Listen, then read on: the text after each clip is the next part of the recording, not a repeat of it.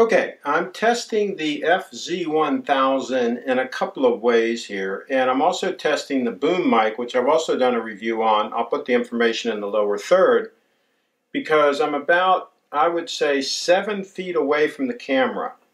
And then I've got the camera zoomed in, so what I'm trying to do is get a shallower depth of field behind me, because I'm zoomed in, and so that would then give you a shallow depth of field behind. And I'm at f4, which is the uh, widest open aperture that you can get when you're zoomed in like this with the lens. So I'm doing everything possible to get a shallow depth of field.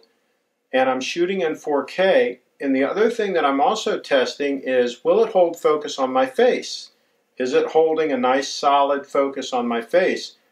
I've had a little bit of problem with some of the clips that I've shot at some of the events where for no apparent reason it will hunt on focus. It'll it'll focus in on whatever I'm shooting, and then it'll hold the focus for a period of time, several seconds or whatever, and then it'll just quickly just kind of drop out of focus and go back in for no apparent reason. And it does this randomly, not all the time.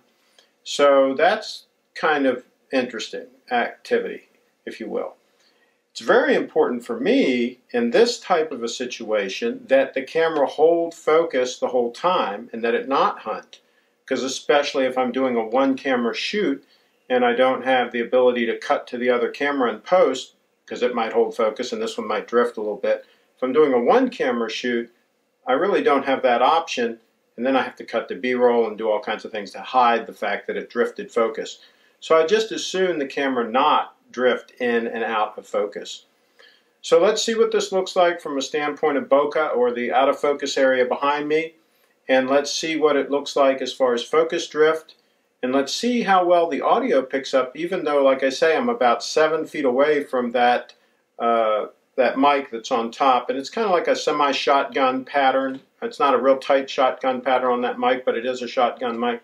So it's going to be interesting to see how well that performs as well on purpose, I'm speaking up a little bit, like I was speaking to a room full of kids or something. So I'm, I'm not speaking in a low voice, I'll speak in a lower voice now. This is a significantly lower voice.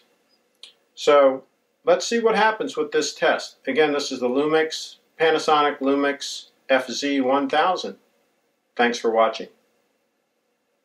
And be sure to subscribe to my channel and comment on this video if you have questions, and of course follow me on Twitter. Thanks for watching.